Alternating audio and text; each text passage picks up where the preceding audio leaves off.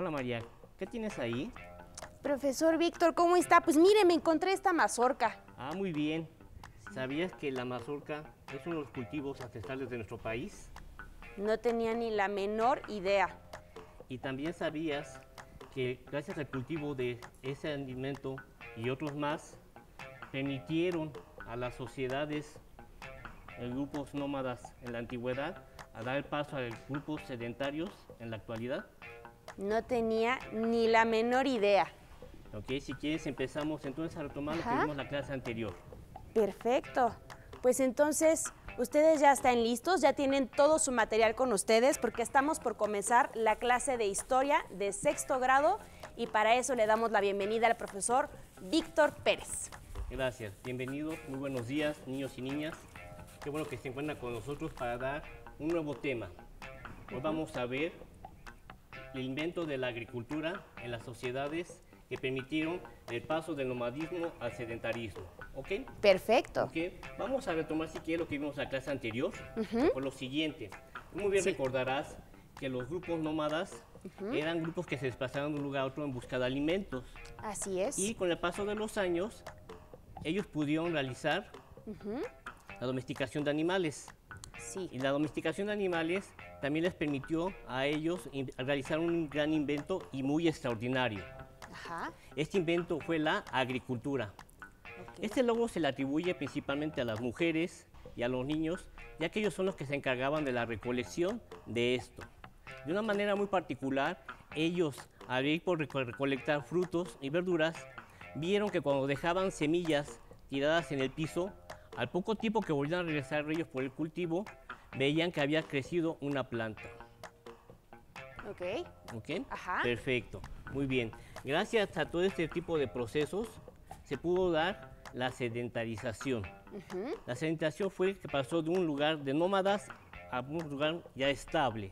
Las Perfecto. sociedades antiguas pudieron quedarse en un solo lugar Ajá. para poder tener una vida más cómoda y tranquila, gracias a la domesticación y el proceso de invención de la agricultura. Eso fue lo que dio el proceso tan importante que se llama sedentarización.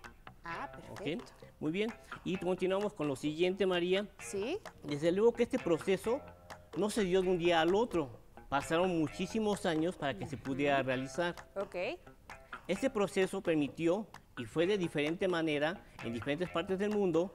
No se dio de la misma manera como tenía que ser.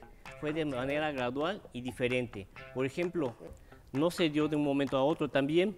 Ajá. Aquí pasaron muchas cosas importantes para que se pudiera el proceso de la sedentarización, De que no fue igual en todas partes del mundo, fueron diferentes y en diferentes tiempos y aspectos. Principalmente en Asia, aquí tenemos vestigios que se realizó en el año 10.000 antes de Cristo. Y en Mesoamérica Ajá. también tenemos vestigios que de nuestro actual territorio nacional. Aquí podemos encontrar que hubo vestigios de esta sedentarización agrícola en el año 2500 antes de Cristo. Ok. Muy bien, ahora Ajá. entonces podemos decir que sin el cultivo de este maíz, la cebada o el trigo, entre otros, no se hubiera dado, las sociedades no hubieran dado un paso tan importante para la construcción de aldeas. Ok. La construcción de aldeas y principalmente después pueblos y que dio paso a las ciudades con una relevancia muy importante y más complejas cada vez y con un proceso de jerarquización también. Ok. Entonces cada vez sociedades más complejas. Así es, más complejas. Anote. ¿Y qué te parece si ahora pasamos a ver un, un video en el cual nos enseña más el proceso de sedentarización y cómo ocurrió? ¿Te parece bien? Vamos, a verlo. El cultivo del maíz hizo posible la multiplicación de los caseríos y aldeas, así como el crecimiento poblacional en el año 2500 a.C. Durante la fase temprana del preclásico, que duró 1300 años, prosperaron sociedades tribales de una relativa homogeneidad social y religiosa que se establecieron en pequeñas aldeas junto a fuentes fluviales que favorecieron la agricultura, base alimentaria y económica de estos grupos. Cada poblado producía los bienes que requería para su subsistencia, aunque existía intercambio con otros grupos.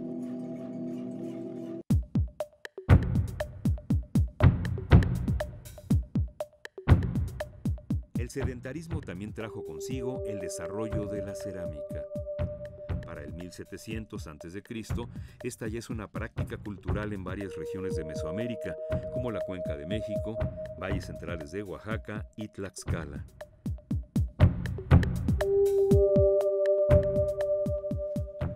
Finales de este periodo, el incremento en la población propició que algunas aldeas alcanzaran mayores dimensiones y se generaran nuevos procesos sociales, como el dominio de una sociedad sobre otra, como fue el caso de Tlatilco, San José Mogote y Chalcatzingo.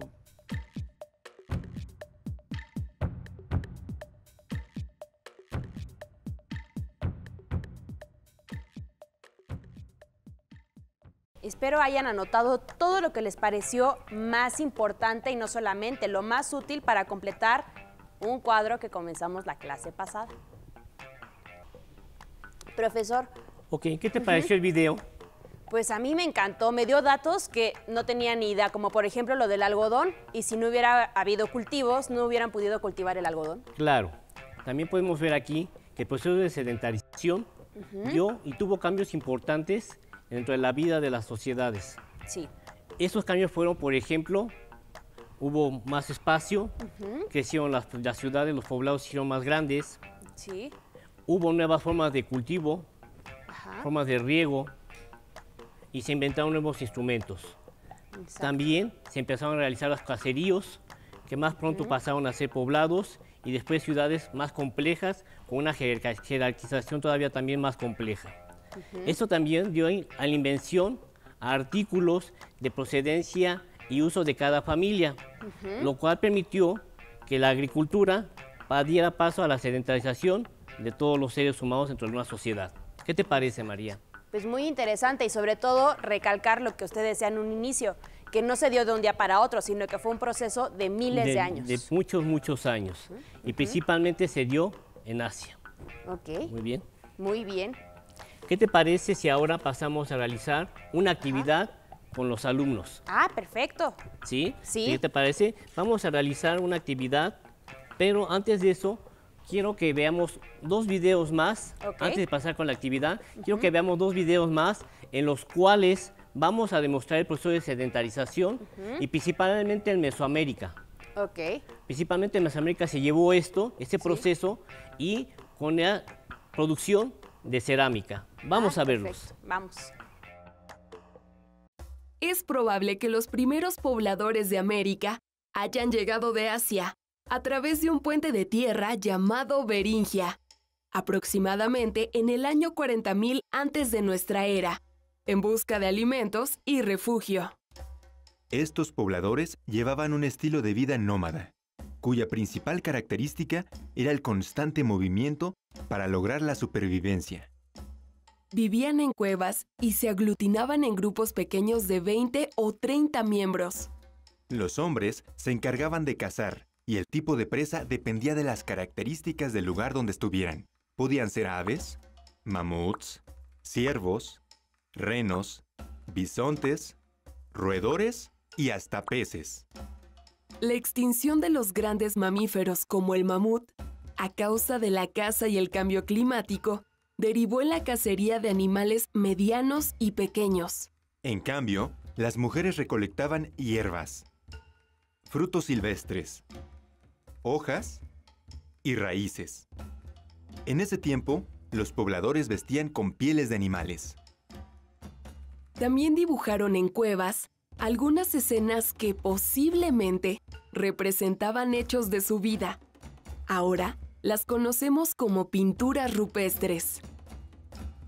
También comenzaron la práctica de la cestería y usaron herramientas como picos, cuchillos, puntas de lanza, raspadores, lanzadardos y machacadores, elaborados en su mayoría de madera, piedra y huesos de animales. Los grupos de cazadores recolectores iniciaron el desarrollo de cultivos de aguacate, chile, calabaza y amaranto. Ese fue el inicio de la agricultura.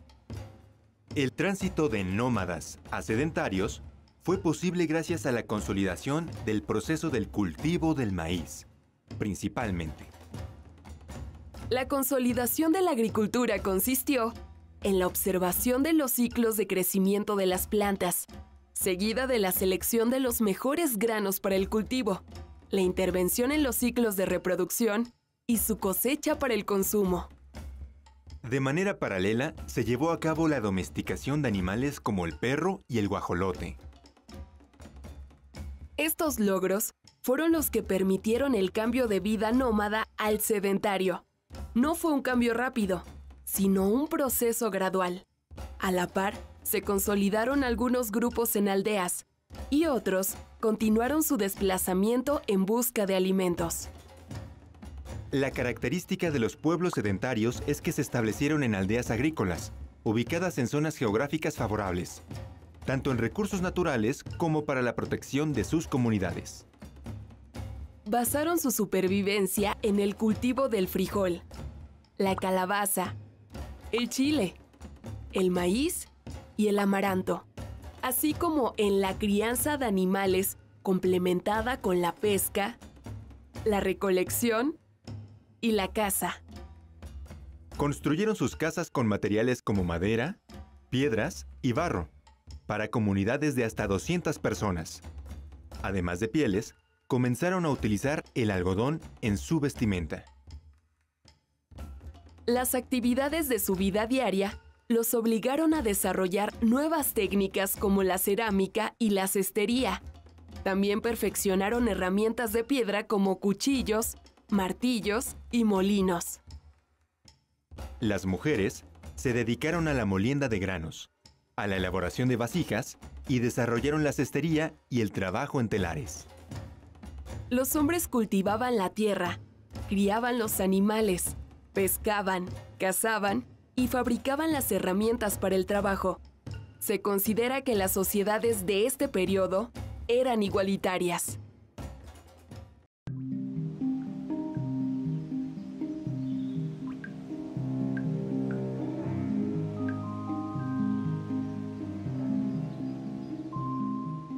Los tlatilquenses habitaron en uno de los sitios aldeanos más importantes de la Cuenca de México, quienes alcanzaron su cenit entre los años 1300 a 900 a.C.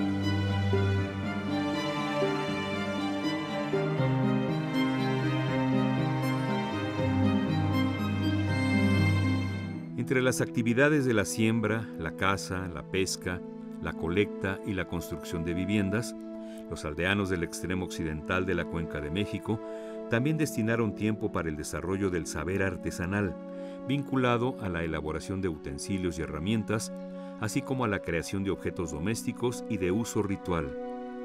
La alfarería de Tlatilco destaca por su abundancia, variedad y belleza.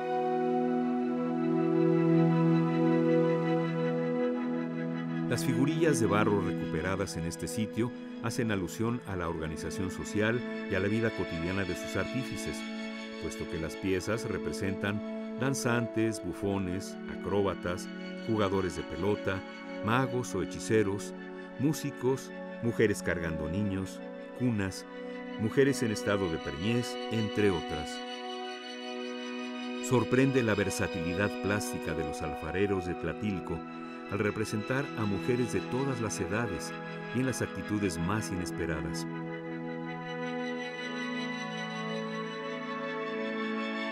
La colección más numerosa es la llamada Mujeres Bonitas, una serie de pequeñas esculturas que muestra la belleza, elegancia y desnudez femenina, ataviadas con alhajas y vistosos peinados. Cabe destacar que el hecho de haberse encontrado esos objetos en numerosas tumbas refiere que su propiedad era altamente estimada entre los pobladores. Posiblemente las figurillas estaban asociadas a la fertilidad. Estas obras tlatilcas tienen una marcada influencia de sus vecinos de la costa del Golfo de México, los Olmecas, una de las primeras civilizaciones que se distinguió por su avanzado desarrollo cultural y político. Otra de las expresiones culturales de los aldeanos de Tlatilco se centró en el culto a sus muertos a través de la práctica de entierros y ofrendas. Los tlatilcas amortajaban a sus muertos con petates y textiles. Junto al cuerpo, depositaban en la fosa algunos objetos personales como sartales de cuentas, adornos de concha y vasijas.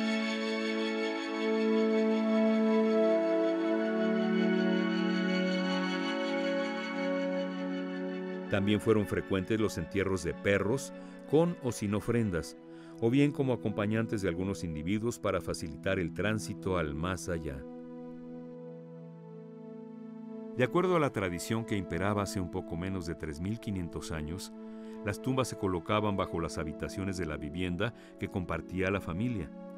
Desde este periodo se perciben algunos elementos culturales que más tarde serán parte importante del complejo ritual de la muerte entre los pueblos de Mesoamérica.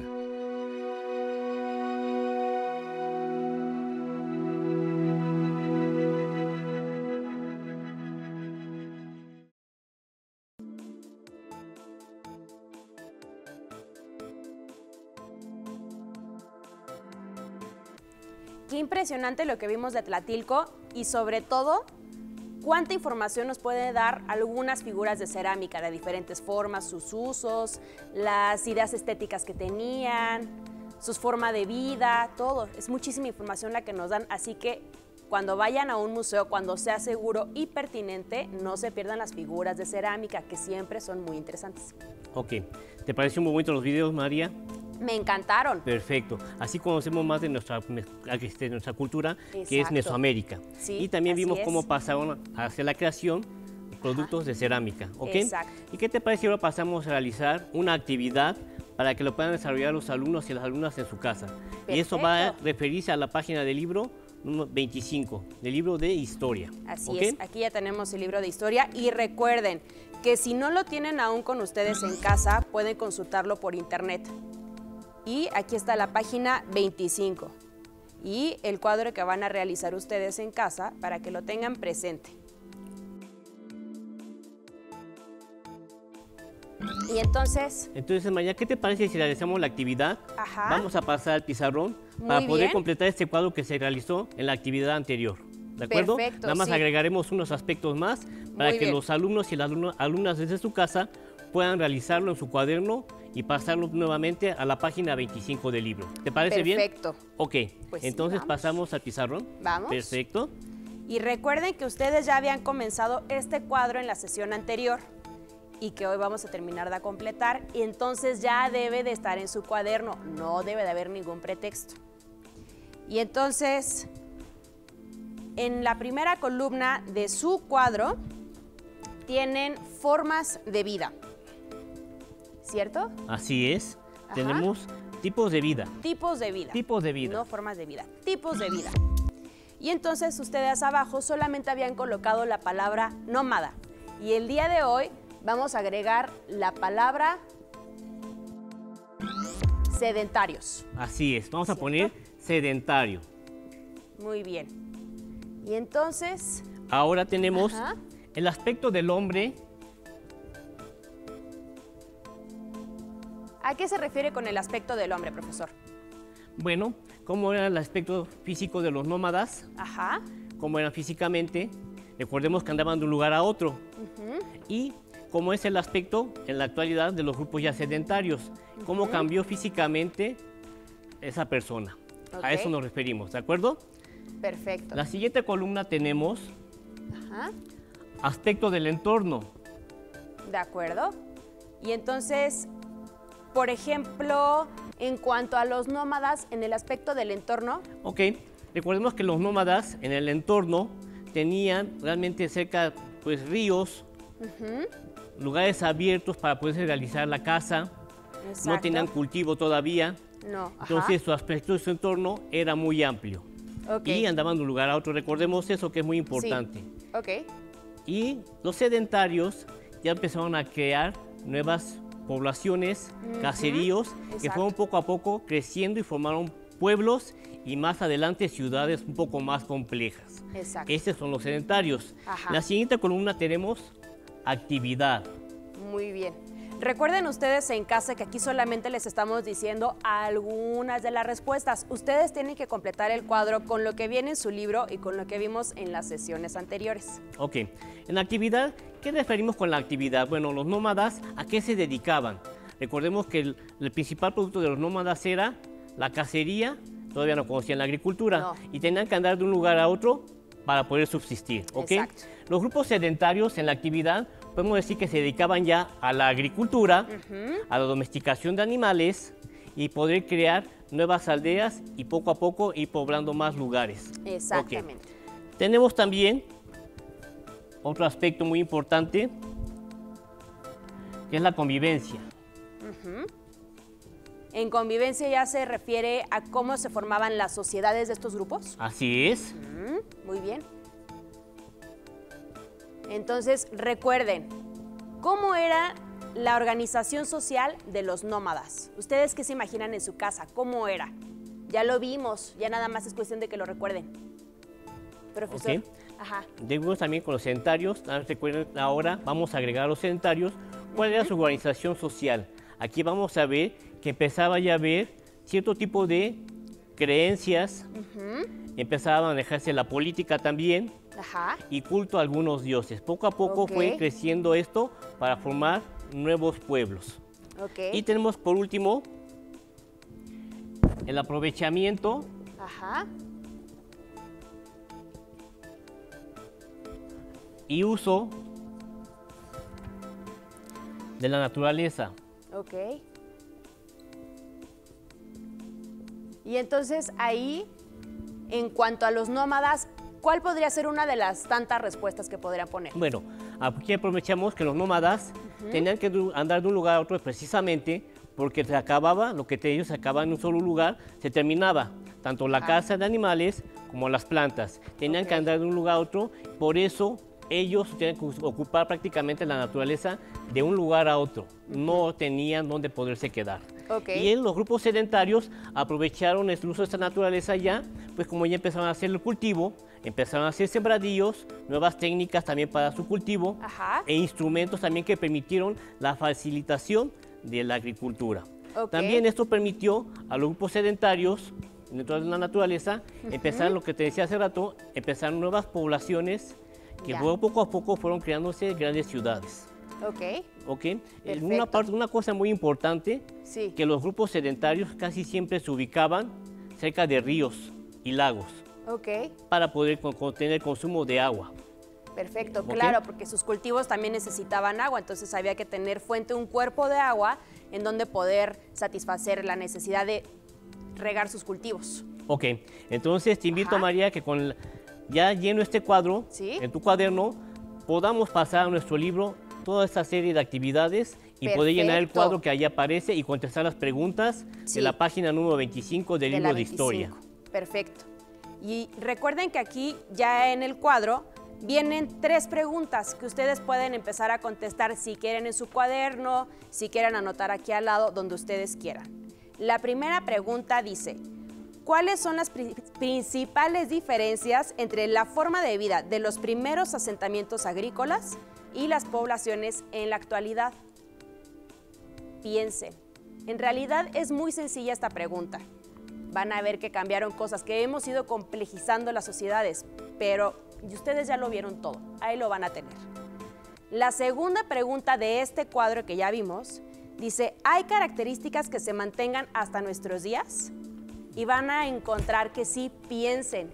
Piensen, por ejemplo, ¿de dónde viene nuestra comida actualmente? ¿De dónde vienen el maíz, los esquites, el elote en vaso, como sea que le llamen en su región? ¿De dónde viene?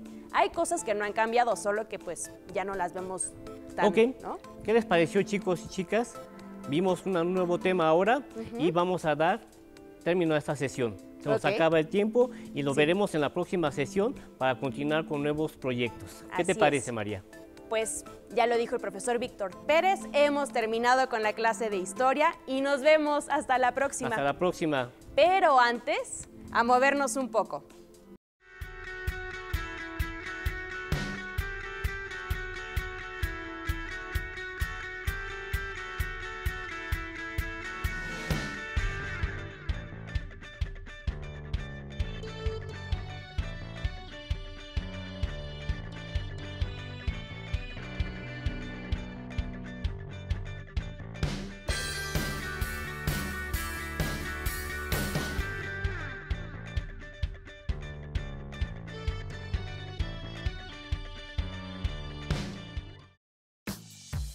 Si necesitas ayuda para resolver tus dudas, contáctanos. Si tienes tus libros de texto en casa, consúltalos, léelos con paciencia y pide ayuda a un adulto si algo no entiendes.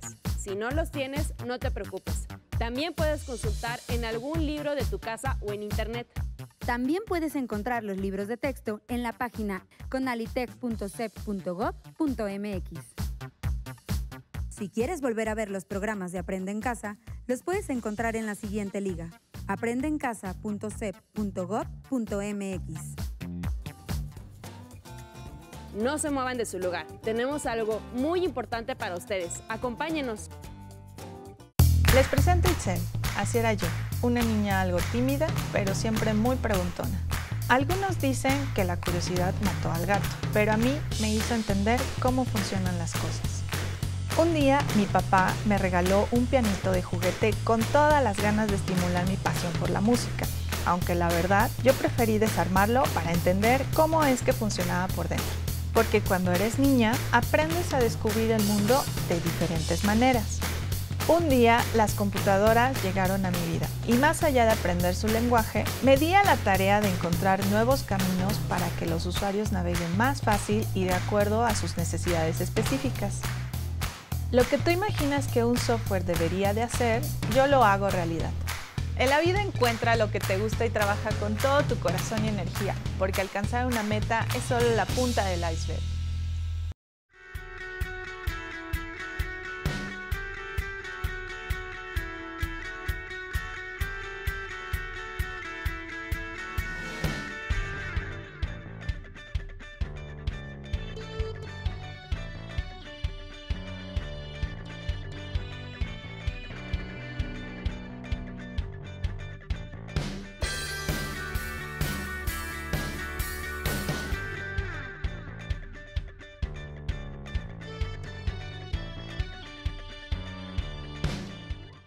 Te enseñaremos cómo armar un cubrebocas con ayuda de un adulto. Necesitarás un plumón o una pluma, una playera de algodón que ya no uses, una regla y tijeras. Recuerda que la manipulación de estas debe estar supervisada por un adulto. ¡Empecemos! 1. Estira la playera a lo largo y a lo ancho. 2. Marca con el plumón o la pluma y con ayuda de la regla 10 centímetros de largo, partiendo de abajo hacia arriba. Repite el paso anterior del otro lado de la playera. 3. Traza la línea horizontal entre los dos puntos. 4. Con ayuda de un adulto, corta sobre la línea horizontal que marcaste. Asegúrate de cortar por fuera de la playera. No introduzcas las tijeras en ella. 5. Ahora tenemos un pequeño pedazo de playera. Estira a lo ancho y con ayuda de la regla, mide y marca con el plumón o la pluma de 15 a 18 centímetros de largo de un lado, dejando un margen de 2 centímetros de alto arriba y abajo. 6. Nuevamente pide ayuda a un adulto para recortar las líneas marcadas. ¡Listo! Ya tienes un cubrebocas con dos pares de cuerdas. Para colocártelo, deberás amarrar las cuerdas sobre tu cabeza y alrededor de tu cuello